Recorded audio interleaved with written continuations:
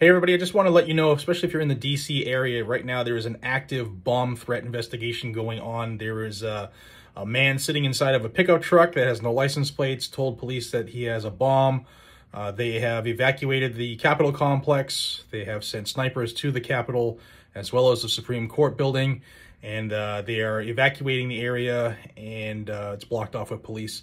So if you're in the area, please uh, be calm and stay safe.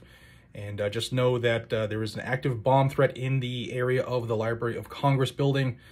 Uh, if there's anything more, I will let you know. Be safe, stay vigilant, carry a weapon, subscribe to Guns and Gadgets, stay in the know. Take care.